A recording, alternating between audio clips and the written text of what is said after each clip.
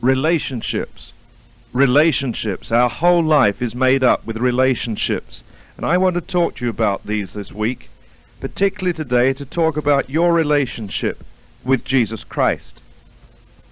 For practically every one of us, all of you listening to my voice, our lives are made up of relationships in many, many different ways. Haven't you found this is true? Just now and then you find someone who lives totally alone and seldom sees anybody and very seldom talks to anybody. In the town where I worked in England, I had a special work with our milkman. When he came to us in the morning, we used to talk over anyone in the town who was lonely, anyone who was sick, anyone who needed visitation.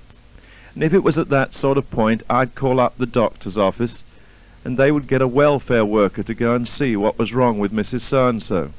And what we discovered was the only relationship Mrs. So-and-so had was with the milkman, and so we helped her out. And then just before I left England to come to Canada, about 14 years ago, I met a man who started the organization called the Samaritans.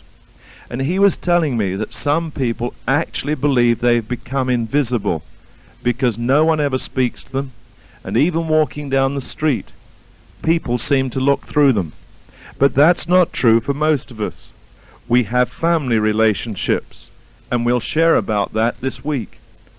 Also, we have relationships in our work, in our school, in all sorts of different ways in our leisure time activities.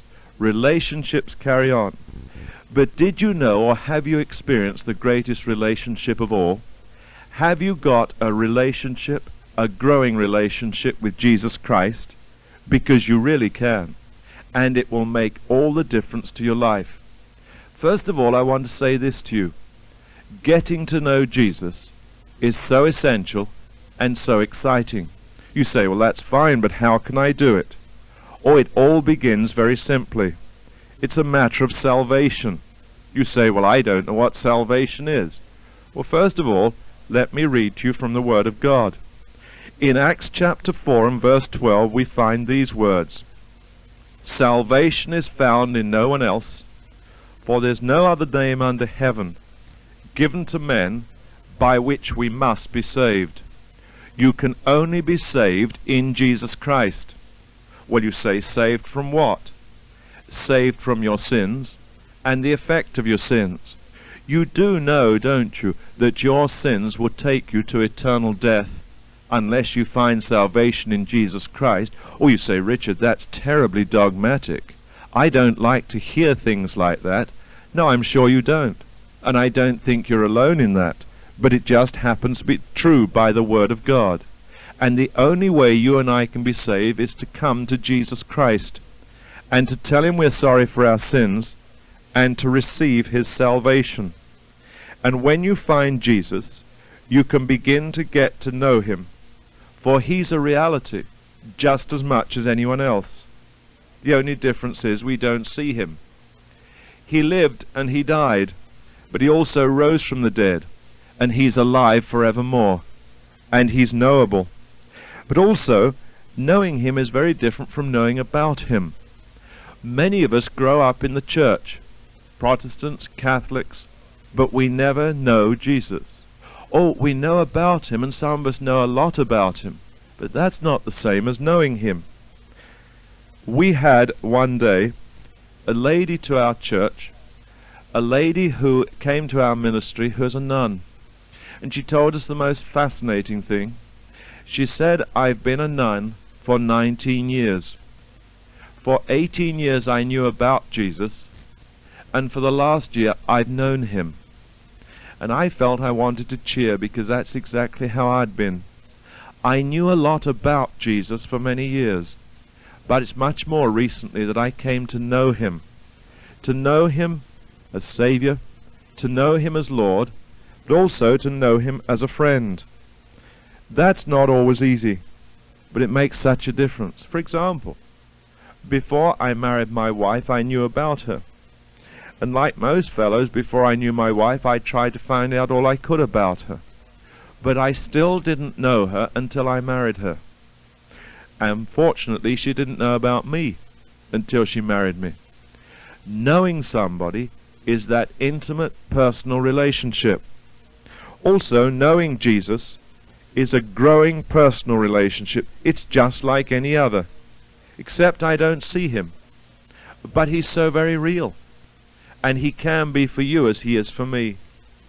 Obviously, in any relationship, you talk to the other party, and you need to talk to Jesus. Yes, of course I do. He's so real and so close, and I find that I can talk to him about anything. In fact, I really believe the reality of Jesus comes through more strongly when I do talk to him about anything. This may seem futile to you, but sometimes when I rush to see someone in the hospital, and it's raining extremely hard, and I'm in an emergency hurry, I don't hesitate to ask the Lord for a parking space. Oh, you say, Richard, he's not into parking spaces. Oh, yes, he is. You would be absolutely amazed at the way he finds them. Somebody comes out of the hospital, climbs in their car and takes off, just ready. And suddenly you begin to see that no longer is it coincidence, but the hand of the Lord is there ready to help. Of course I talk to him, and I find that as I begin to talk to him, everything begins to change. But we have a problem here. The moment you talk to someone about prayer, they seem to think it's different from talking to somebody else, and it really isn't. You're simply talking to the one you can't see. Well, you say that's futile. Oh no, it works, and it works wonderfully. Well, you say, why should I pray to somebody who already knows everything? Yes, that can be a problem, can't it? First of all, he told me to pray, and I live in obedience to him, and I find it's the only way to live. The Bible calls it righteousness. And as I do what he tells me, my life begins to work out in new ways. And we do believe it works because we see it works. It was only the other week in one of our services that a lady stood up to tell us the answer to prayer from two Fridays before. She had come to us, and I remembered her so clearly. She said, I have lumps in my breast, and I've got to go to the doctor on Tuesday. Would you pray for me? And we prayed, and we asked the same Lord Jesus to remove the lumps. And she told us that those lumps had gone. Oh, you say, it's just coincidence. These things happen. Well, that's true. But what you find is that when you come to prayer, it happens far too frequently just to be some sort of coincidence. And you find that the Lord your God is listening, and He's answering. You say, well, when should I pray? Well, first of all, most people who love the Lord have a set time of day when they get alone with Him. After all, if He's such a special friend, you talk to Him when you can. And with that, we also pray at any time. I find driving in the car is a great time to pray. First of all, I often have to pray for myself, and secondly, would you believe, I have to pray for other drivers. Maybe you're driving into the city now, and it wouldn't be a bad thing to let some of those prayers just ascend, especially the funny things people do. Have you noticed recently how everyone's given up signaling whether they're going to go right or left? I assume they think you know what they're going to do.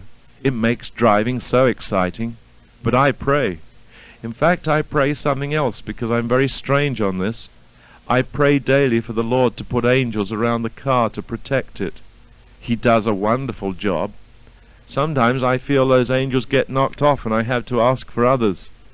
Pray whenever you want to talk to Jesus. Just talk, for he's always there and longing to hear you.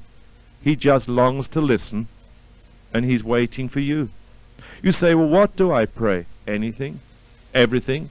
The sort of things you talk to the dearest friend about, the most intimate friend, share it with him, and as you share in that way, you'll find you grow into an intimate relationship with Jesus.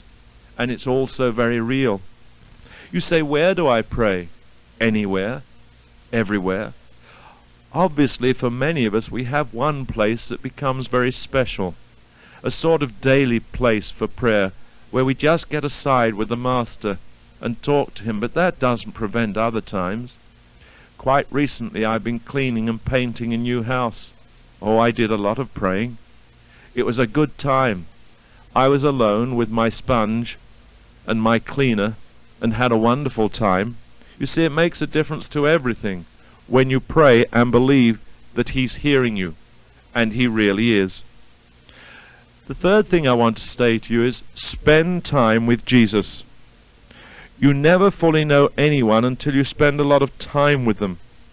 And it's just as true with this relationship as any other. And obviously it takes time to grow in a relationship with Jesus. And it takes sacrifice. And some of us don't want to bother.